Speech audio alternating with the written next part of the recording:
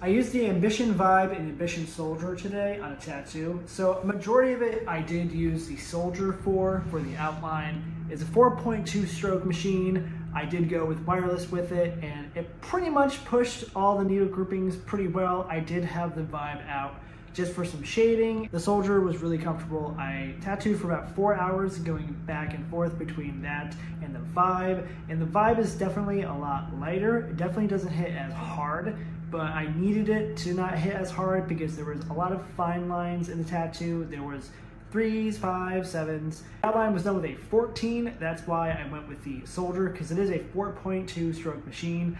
I didn't want to use the Torp just because for the thigh, it's kind of a fatty area and I was really concerned with blowouts and everything. Even though I could have swapped the cam out, I just wanted to go with the Soldier because it's a really comfortable machine for me and the Vibe was a really good backup for anything I needed to do with a little less of a punch. Overall, I don't think anything really struggled to do anything I needed it to do. The large needle grouping was pushed pretty effortlessly with the Soldier and the Vibe picked up all the slack. So overall, it's a pretty good experience with both these machines. The tattoo came out really, really good. Like I said, about four hours, uh, not a crazy long time. That's how we're ending the video. Perfect.